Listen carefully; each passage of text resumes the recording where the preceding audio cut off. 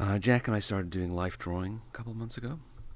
Um, the first outing, I took my usual journal with me, fairly small book, and uh, wasn't really sure what I was doing, so I started drawing with uh, a couple of different markers, and this is a brush marker.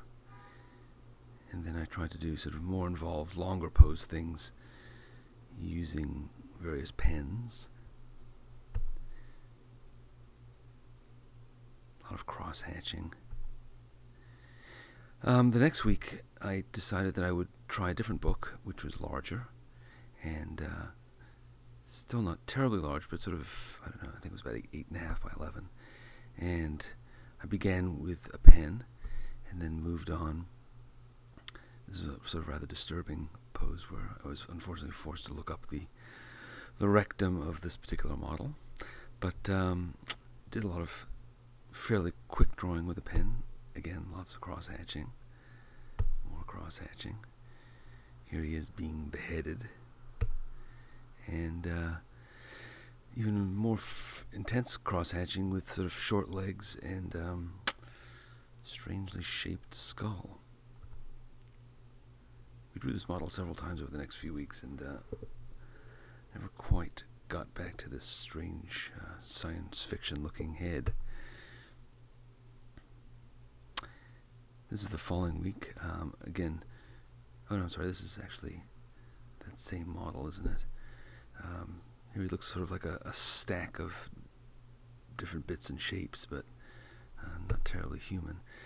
Um, this is an, an, the following week where we got to draw.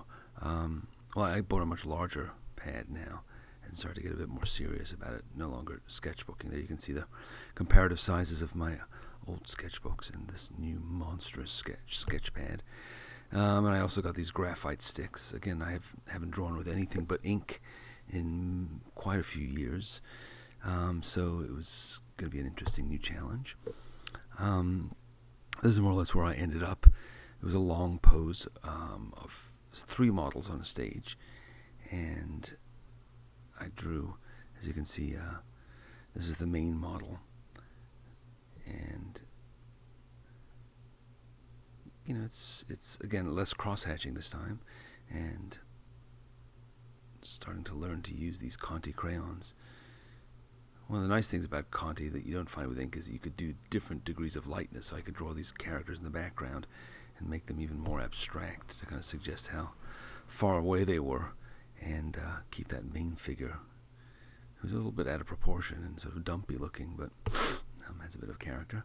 And then, uh, so the next week when we were doing um, nudes, we had uh, a lot of movement and I was using just one big chunk of graphite.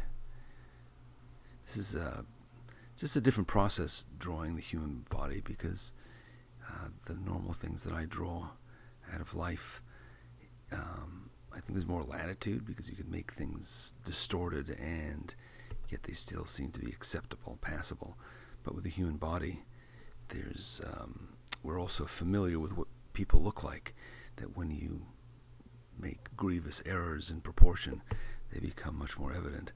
But um, and uh, there's a lot more correction, as you can see, going on here, which is part of the reason I usually avoid drawing with pencils to avoid that and to make sure that I'm, uh, as you can see, I'm about to go off the page here, and um,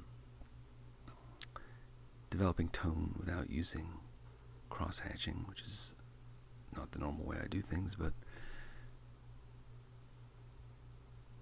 it's interesting to me how, well, there's continuing problems with proportions here, but but every one of these drawings sort of has it seems to have a slightly different style to it. But some of them remind me of of ancient figure drawings that uh, some of my favorite artists have done. And that's probably because of the medium more than any incredible ability of my drawing. But I quite like the feeling and style of some of these.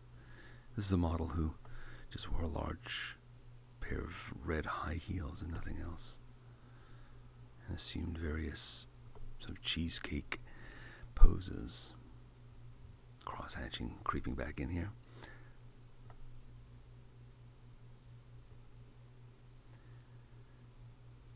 Here's a more detailed drawing, longer pose, has a sort of less life, I think, than some of the earlier drawings that I did. But um, so just get a sense of her personality there. The next week we were back to that bald guy again, and here I was trying various experiments in how to construct him as quickly as possible.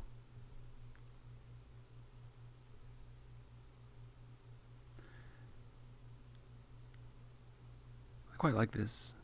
One of my favorite artists, and particularly artists of, of the nude, is Egon Schiele, and he was always doing these kind of drawings with bits cut off and people looking limbless and uh, energetic in some ferocious way.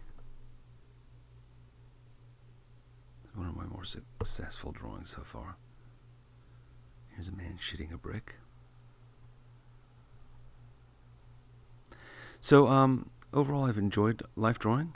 Um, I've run out of pictures to show you today, but uh, we've continued actually since then. I just haven't included them all here, but it's been an interesting experience. I can't say I enjoy it quite as much as I do sketchbook drawing, but I think that having you know a focus and um, on a different kind of subject matter than I normally have has forced me to experiment with new materials. It's also um, interesting to have a regular kind of drawing event like this. Um, I happen to have been drawing at a place called the Spring Street Studio in Soho in Manhattan, but uh, I'm sure there are getting get-togethers like this all over the country, and uh, I would recommend you try it because it's intimidating as hell at first, and um, it's also a bit off-putting being in a room full of other people, many of whom are much better at it than you are, but that's part of the, the whole process. So it's been something worth doing, and I plan to continue doing it. It's also been fun to do it with my son, who is, of course, better at all these things than I am.